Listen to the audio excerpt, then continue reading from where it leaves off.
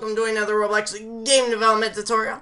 Today we're going to actually fix our jump. I kind of made a mistake last time, uh, but I'll explain that later. I'm sorry it's been so long since our last tutorial. Um, I know I posted only two videos last week.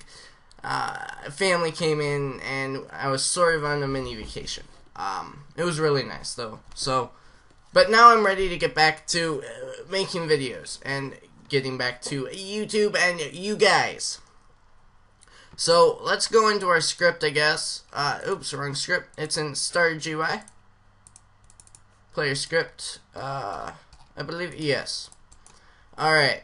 Now there's a quite a few problems here actually.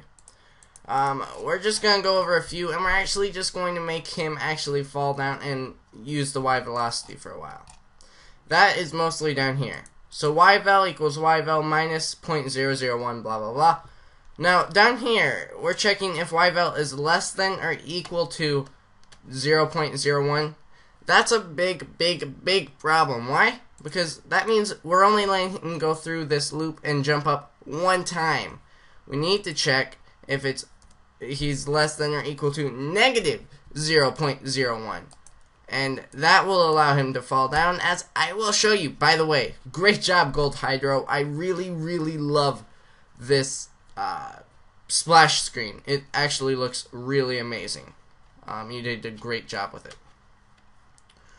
Now, now let's watch our player jump. There we go. Now he's still not falling all the way down, but as you guys can see, he is going up up, up, up, up, and then falling down, and it's slowing down, and it looks actually like a real jump, right? Now, I'll explain why that's happening. The reason that's happening is at first he jumps up really fast. He's first fighting gravity. Gravity hasn't gotten much of a chance to kind of fight against him yet. So he's going fast. But every time it updates, he goes a little, little bit slower by this subtraction here. Okay? And by subtracting that he goes a little slower a little slower. And then once he hits zero he stops just for one update and then he starts falling down. But his deceleration is slow and then his acceleration down is actually slow as well. He's only going down a little bit at a time until he finally hits that 0.01 uh, once he gets to there then he is finally falling at he's falling at the highest rate he can and we soon will have to do a check to make sure he's hit floor.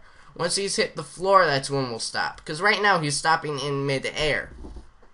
But to do that, we're going to need to make a move, uh, a, uh, on top of collision. Now, we could call it uh, something else, but we're not actually going to do that today. We're going to make our vertical collision checking probably tomorrow, maybe, maybe Wednesday. Uh, I just want to see how far we can get. So now he's actually going to be moving down. So his Y-vel will change to 0 and so forth. Now, something I want to do though is change it to be less than instead of less than or equal to. And I'll show you guys why. Because that'll make him go a little bit further down. Just a little bit further down. And that will help us fix a couple more issues with this. Um, we might end up changing it back later once we have collision detection, uh, but I'm not quite sure yet. So as you can see, he's going down a little bit further each time now, it looks like. But it's still a smoother jump. He doesn't just go up and then stop, go up, stop, go up, stop. He's jumping up, then going down, and then stopping. It's not perfect by any means, but it will be made better as time goes on, as we continue making this game.